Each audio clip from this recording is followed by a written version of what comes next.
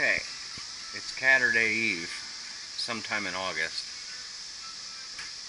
The old cat got a new cigar filled with catnip. The young one wants it, but the old one, well, he's not going to let it go. I'm just telling you, it won't happen. Wayward, he's just watching. He paid $3 for the seat.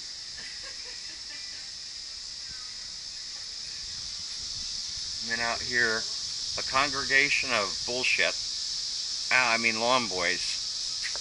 These are nice old mowers. Hell, we need to go through and try to see what the hell's going on with all of them. They've stood the test of time. They just need a little bit of going through. And here's another congregation of stuff that, well, everybody needs one of these in front of their house. Hell, it's sort of like a flower garden for guys. I mean, the women always stop and compliment Patty on her flowers. But the guys like, the girls come over and then look at this. Oh, lordy. Marga. This is her garden.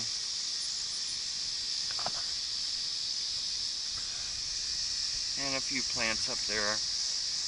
They didn't fare as well as the others, but we did get a little bit of something off of them. Definitely not the best way. And then there's a remote project out by the mailbox. But here's my favorite part.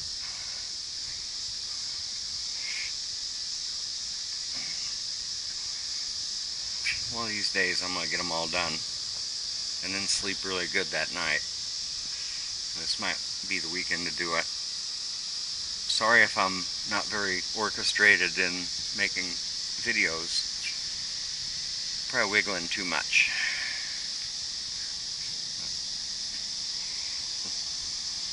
There's Hee Haw for you. And here's the cats.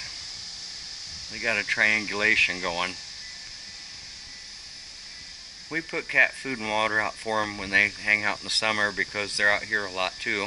In the garage, they keep mice away. And that's why we don't have any. But we gotta go. There's some guy pulling up on a mower. So